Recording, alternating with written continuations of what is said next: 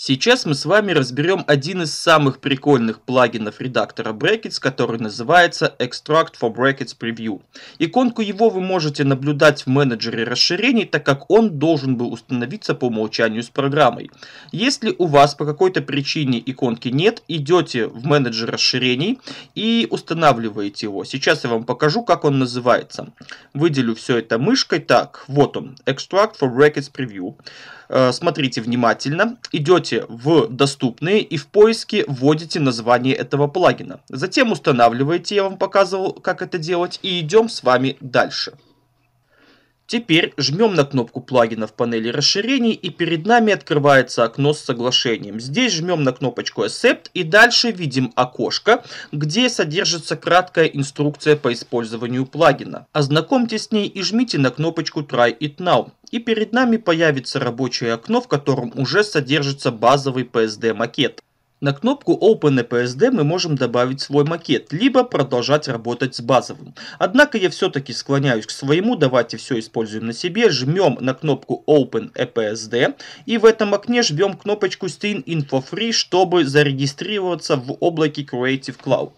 Давайте нажмем и перед нами появится окошко Adobe ID. Здесь обратите внимание, либо вы регистрируетесь, жмя на ссылочку получить Adobe ID, или если он у вас уже есть, то просто указывайте указываете свой адрес, свой пароль и входите в ADAP ID.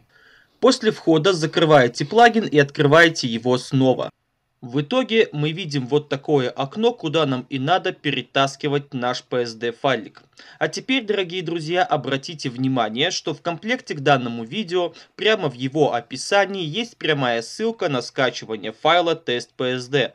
Скачивайте его к себе на компьютер и перетаскивайте в это окошко. После этого начинается загрузка файла на сервера Creative Clouds, на ваш собственный аккаунт. Поэтому обратите внимание, если у вас не будет подключен интернет, вы не сможете пользоваться этим плагином. Понятно, да? Запоминайте. Далее, смотрите. Также этот файл отсюда уже нельзя будет удалить, то есть он тут будет висеть постоянно, пока вы не удалите его из вашего аккаунта э, в EDAP ID. То есть после загрузки, сейчас я вам покажу. Так, в общем, после загрузки э, он у вас появится здесь, видите, да? Э, и теперь будет постоянно отображаться. Вот файлы все видим, вот наш файлик. Чтобы его удалить, сначала жмете сюда, жмете заархивировать. Так, и потом наш файл перемещается в архивчик. Сейчас вот, и уже тут мы можем его выбрать и конкретно удалить и либо восстановить. Я пока что это все дело восстановлю. Вот так. В принципе, сейчас на этом давайте с вами остановимся. Э, не забываем ставить лайки и подписываться на наш канал. А уже в следующем уроке мы попробуем работать с этим файлом.